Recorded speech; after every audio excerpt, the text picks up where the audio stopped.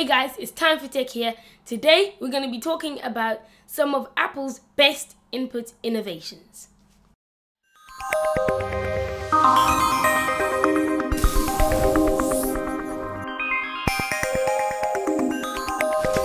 So it is a very very simple thing. Apple first made it with one massive button at the front instead of two click pads.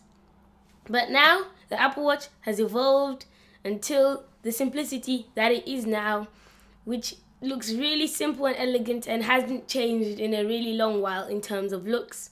And with the looks, it looks amazing. Not really outstanding wise, but simplicity wise. Just white and elegant.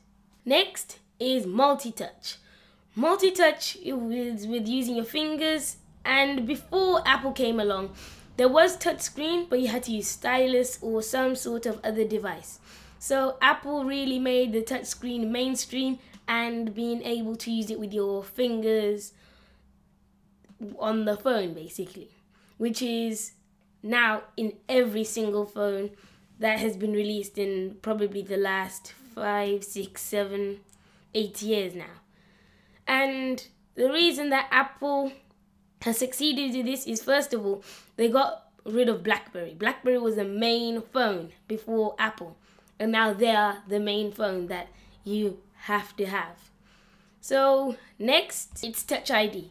There have been fingerprint scanners before, uh, especially I've seen one on the motor on a Motorola phone before.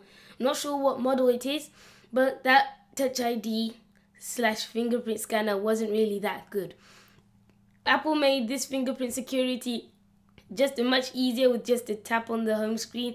They said it couldn't be hacked, and then a group of hackers hacked it within three days, but you're gonna have to work quite hard for it to be hacked. So I wouldn't worry about the Touch ID security at all. I'd be perfectly fine with using Touch ID. Other companies have started to use it now with the OnePlus 2 phone having some sort of fingerprint recognition with also the Samsung phone having it. The Samsung Galaxy S5 had it, but it didn't really look that good and it didn't work that well. The S6 has improved it, but it's still not as easily used as Touch ID on the iPhone. Finally, Force Touch. Force Touch will debut on the Apple Watch, which I think is a really great feature. But I've raised my doubts before in some of my previous posts about Force Touch working on the iPhone because you wouldn't really want to pay attention to how hard you tap the screen on your phone. On the laptop, it could be a good thing. So you got the trackpad and then you press down on it. That brings up some apps that you frequently use. If you're on Safari, hold down on it. It'll go to your bookmarks. Something like that will be a good feature, but not changing the whole interface.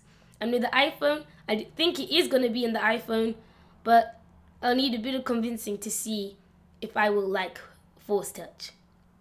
If you like that post about Apple's input innovations, please leave a like and subscribe.